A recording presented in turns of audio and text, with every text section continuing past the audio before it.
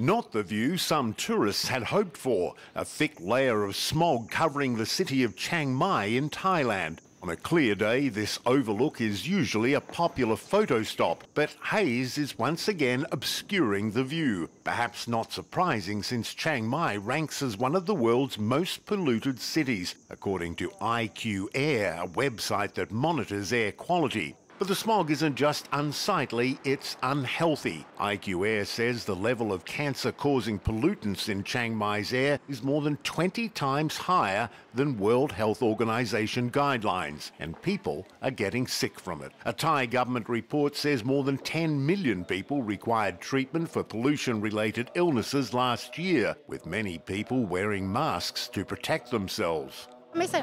On the day that I don't wear a face mask, I'm exposed to pollution. Then I would come home with an allergic rash on my arm. I can't breathe.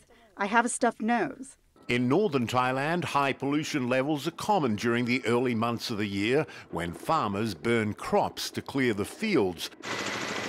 But this year, the government says it's taking steps to curb the problem. Legislation for a Clean Air Act is underway, and Thailand's Prime Minister says he'll impose regulations on crop burning, but didn't give further details.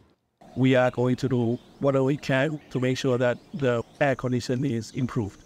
The smog also affecting Thailand's capital, Bangkok, and one of the country's most vulnerable groups, children. Many public schools in Bangkok don't have air purifiers or filtration systems, so students, even inside the classroom, can be exposed to toxic air. The humidity in the classroom is high if we close the windows, so that's why we need to leave the windows open. But then pollution dust comes into